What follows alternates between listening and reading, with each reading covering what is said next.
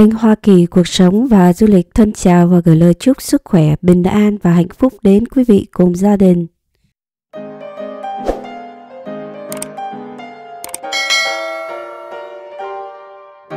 Hôm nay kênh sẽ chia sẻ đến quý vị 10 tiểu bang an toàn nhất tại Hoa Kỳ.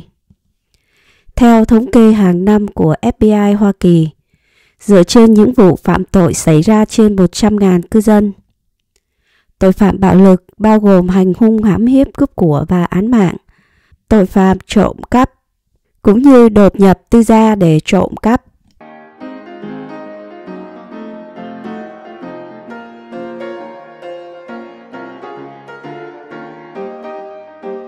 Dưới đây là danh sách 10 tiểu bang an toàn nhất tại Hoa Kỳ. Thứ 10. Massachusetts tiểu bang tọa lạc tại khu vực New England, Đông Bắc Hoa Kỳ. Là tiểu bang rộng lớn thứ 44 về diện tích, với diện tích 27.336 km vuông và là tiểu bang đông dân thứ 16 ở Hoa Kỳ. Dân số của tiểu bang vào năm 2022 6 triệu 922.107 người. Boston là thủ phủ của tiểu bang Tội phạm bạo lực 327 vụ xảy ra trên 100.000 cư dân.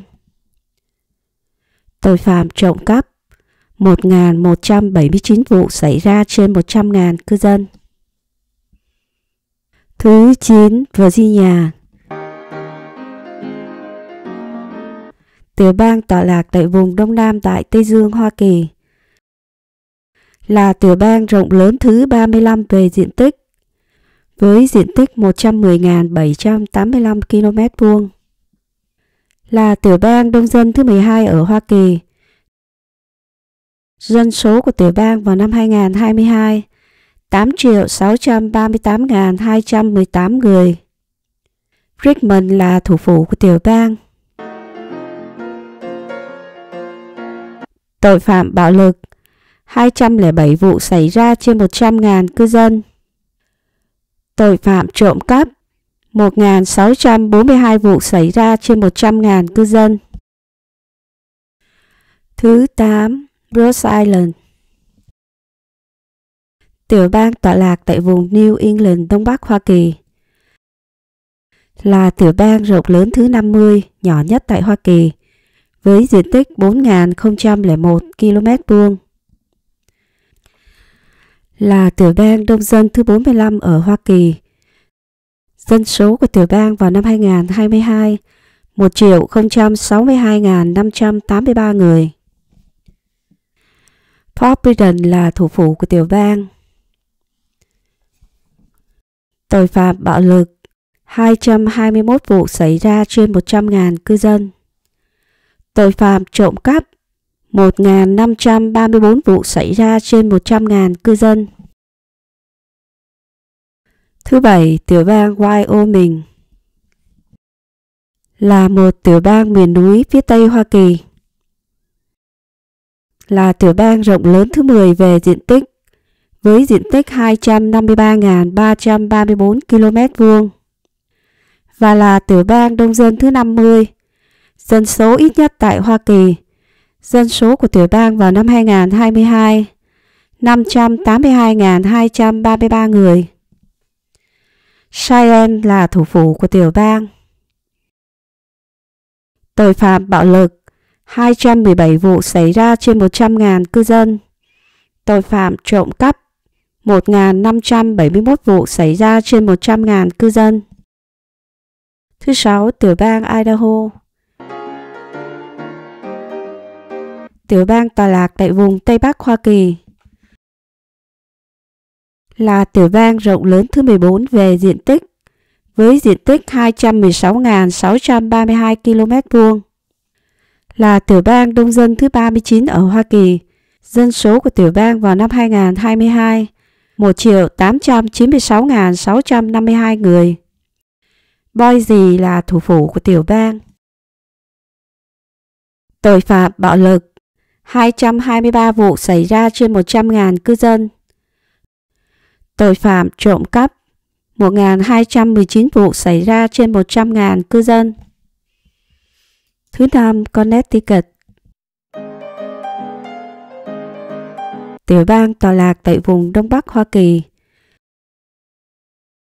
là tiểu bang rộng lớn thứ 48 về diện tích với diện tích 14.357 km vuông và là tiểu bang đông dân thứ 29 tại Hoa Kỳ. Dân số của tiểu bang vào năm 2022 3 triệu 546.588 người. Hartford là thủ phủ của tiểu bang. Tội phạm bạo lực 183 vụ xảy ra trên 100.000 cư dân. Tội phạm trộm cắp 1.426 vụ xảy ra trên 100.000 cư dân. Thứ tư, tiểu bang Vermont.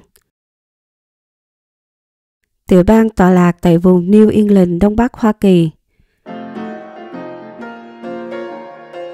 Là tiểu bang rộng lớn thứ 45 về diện tích, với diện tích 24.905 km vuông.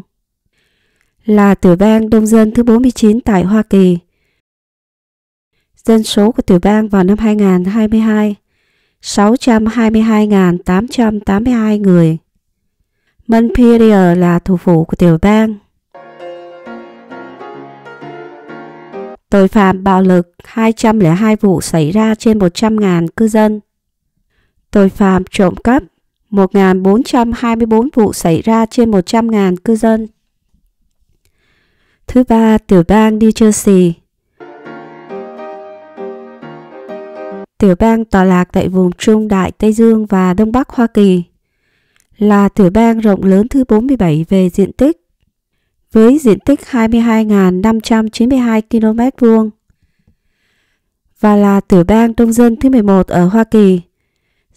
Dân số của tiểu bang vào năm 2022 8 triệu 882.190 người. Trenton là thủ phủ của tiểu bang. Tội phạm bạo lực 206 vụ xảy ra trên 100.000 cư dân. Tội phạm trộm cắp 1.335 vụ xảy ra trên 100.000 cư dân. Thứ hai, Maine. Tiểu bang tọa lạc tại vùng New England, Đông Bắc Hoa Kỳ. Là tiểu bang rộng lớn thứ 39 về diện tích với diện tích 91.646 km vuông và là tiểu bang đông dân thứ 43 ở Hoa Kỳ. Dân số của tiểu bang vào năm 2022 1 triệu 359.677 người. Augusta là thủ phủ của tiểu bang. Tội phạm bạo lực 115 vụ xảy ra trên 100.000 cư dân. Tội phạm trộm cắp 1.245 vụ xảy ra trên 100.000 cư dân. Thứ nhất, tiểu bang New Hampshire. Tiểu bang tọa lạc tại vùng New England, Đông Bắc Hoa Kỳ. Là tiểu bang rộng lớn thứ 46 về diện tích, với diện tích 24.214 km vuông và là tiểu bang đông dân thứ 42 ở Hoa Kỳ. Dân số của tiểu bang vào năm 2022 1 triệu 378.449 người. Concord là thủ phủ của tiểu bang. Tội phạm bạo lực 152 vụ xảy ra trên 100.000 cư dân. Tội phạm trộm cắp 1.209 vụ xảy ra trên 100.000 cư dân. New Hampshire được xếp thứ nhất trong những tiểu bang an toàn nhất tại Hoa Kỳ. Đó là những chia sẻ của kênh Hoa Kỳ Cuộc Sống và Du lịch gửi đến quý vị trong ngày hôm nay. Chân thành cảm ơn sự ủng hộ của quý vị đã dành cho kênh Hoa Kỳ Cuộc Sống và Du lịch. Thân chúc quý vị cùng gia đình thật nhiều an lành hạnh phúc. Hẹn gặp lại quý vị trong video kế tiếp.